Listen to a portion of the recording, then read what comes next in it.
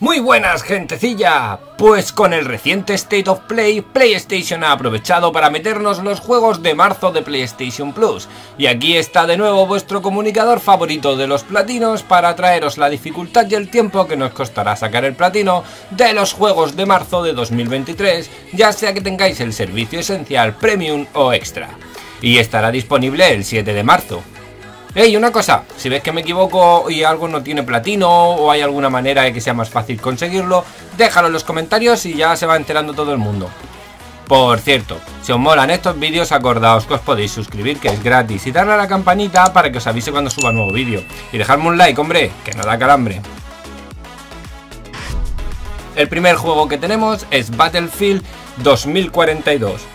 Después de dos temporadas en la guerra histórica en Battlefield 1 y 5, nos mudamos a un entorno futurista con el juego que tiene lugar en el año 2042 y que esta vez no tiene campaña para un jugador. Estamos ante un platino con una dificultad de 5 sobre 10 y teniendo que dedicar más de 100 horas para obtenerlo, siempre dependiendo de vuestra habilidad en este tipo de juegos. El juego no tendrá ningún trofeo perdible y tendremos 35 trofeos online, lo que vienen siendo todos. En el juego necesitaremos hacer 25 extracciones exitosas en su modo Hazard Zone y 42 victorias totales en los otros modos. ¿Creéis que estáis listos para esta batalla? El segundo juego que tenemos es Code Vein, un RPG de estilo Souls con estética anime y protagonizado por vampiros en un mundo post-apocalíptico. Nos encontraremos con un platino de dificultad de 5 sobre 10, teniendo que invertir unas 75 horas. Tendremos un trofeo online y 5 trofeos perdibles.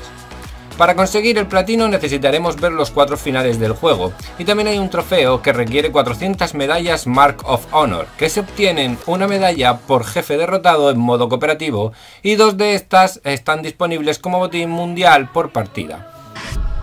Como tercer título nos llega Minecraft Dungeons, un RPG de acción que toma como suya la fórmula jugable de Diablo y la adapta a su universo con sus bloques y personajes nos encontraremos con un platino de dificultad de 3 sobre 10, teniendo que invertir unas 20 horas aproximadamente. No tendremos trofeos online y tampoco nada perdible. El juego nos pide que lo completemos en su modo más difícil llamado Apocalipsis, y aunque no tiene trofeo online porque podemos jugar en COP en la misma consola, quizás si necesitéis ayuda con el trofeo que pide revivir 20 veces a un amigo caído. Bueno, estos son los juegos de PlayStation Plus de marzo de 2023. ¿Cómo los veis? ¿Entraréis en la guerra del futuro? ¿O quizás vosotros sois más de batallas clásicas aunque sean con cubitos? Quizás necesitéis un toque de dificultad con estilo anime.